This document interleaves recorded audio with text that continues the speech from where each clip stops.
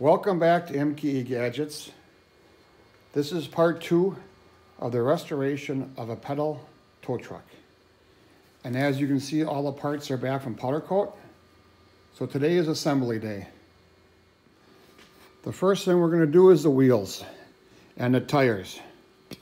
These are reproduction tires, and you can see they don't fit on there real well.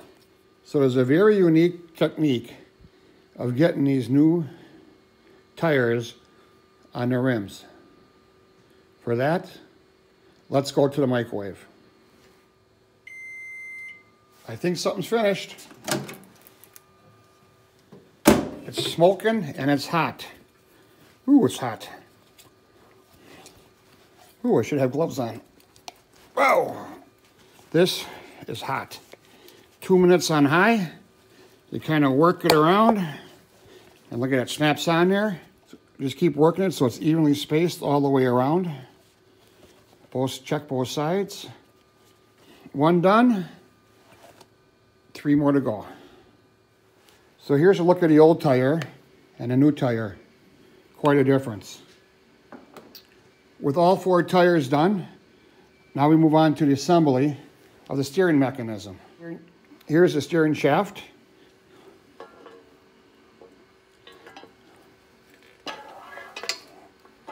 And that gets assembled. The two steering shaft brackets get mounted.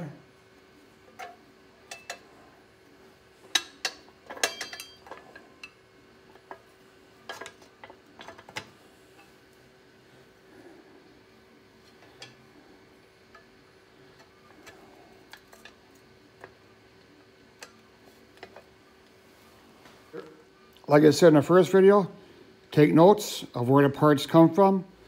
So we're adding three new cotter pins today.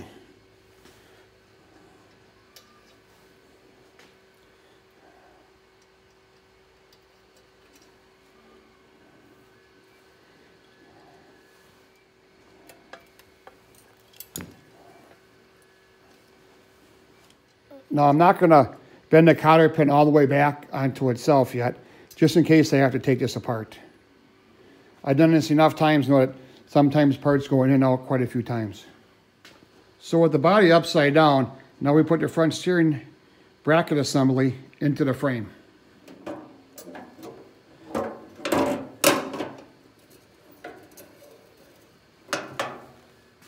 So the hardware I'm using is all stainless steel, 1024 button head cap screw, with a washer. This goes on the outside of the body. This is what you're gonna see. That looks pretty nice. On the inside goes a nylock nut, stainless steel, of course. You can't see underneath there, but it's kind of a struggle until you get one started. Now we just work our way around the frame, doing the same. Next is the wheels. The trick is to have these three slots facing outward. That's for the hubcap. First, we put on a stainless steel washer. The wheel. A second stainless steel washer. And then the cotter pin. With the two front wheels finished, now we move on to the back. Let's flip the car around. Now we're working on the back drive mechanism. The wheel on the left has a slot, and this is a drive wheel. And that wheel is driven by this cotter pin. So this has to go on the left-hand side. At the same time, we put these holes over the pedal brackets in the front.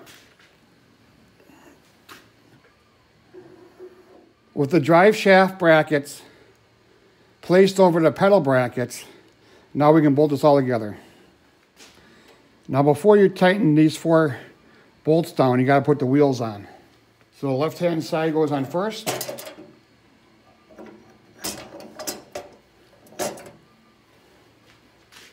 And the right-hand side, washer, wheel, washer, cotter pin. With all four bolts tightened down And the rear wheel's on. Now it's time to turn our attention to the pedals. The pedals go on like everything else. Washer. The pedal. Washer.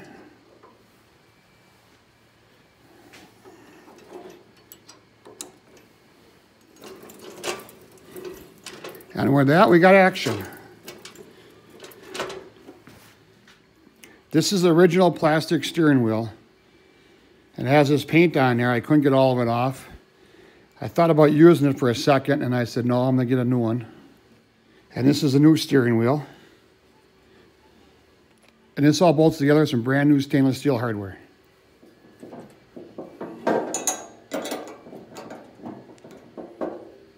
With the new steering wheel attached, if this was your regular pedal car, we'd be all finished at this time. But this is a pedal tow truck that has some unique features. Next, we're going to install them. Well, this being a tow truck, when you have the boom on the back and you're towing, you need a counterweight for the front. So what I made here was a bumper. I made a bumper out of eighth inch by one hot rolled steel. Once again, it gets assembled with stainless steel hardware.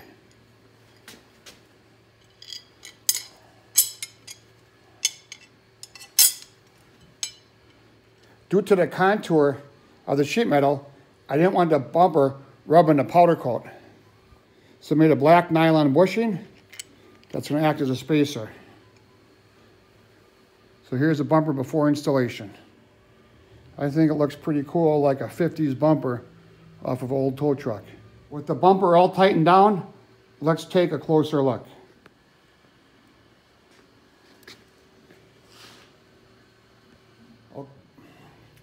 The last custom part to this tow truck pedal car to really make it a tow truck is this custom made boom.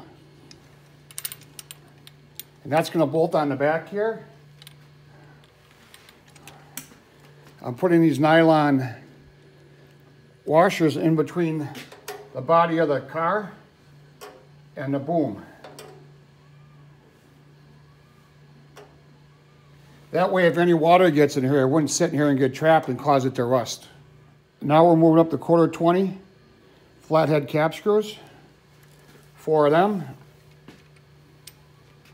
Underneath the body, I have aluminum plate that's drilled into that quarter 20 and that's going to hold that down. Well, the boom's all assembled. Let's take a closer look.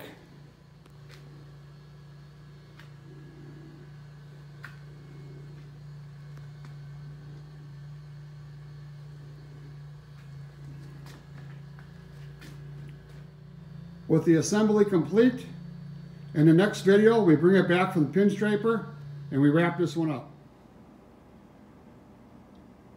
This is the money shot. I just got it back from the sign painter. The body was powder coated orange and he did all the pinstriping and sign painting on it. I think he did a beautiful job. The HD towing is for heavy duty towing and that's what this tow truck is going to be doing. I went with a diamond plate here in the back to try to give it that 50s gas station look. And I think that was achieved pretty good.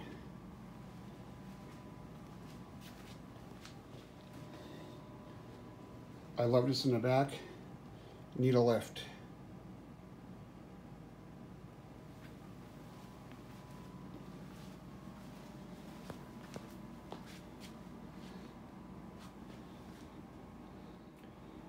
This is MKE Gadgets. Thank you for viewing. Please share this with your friends. And please support me by subscribing to my channel. Thanks.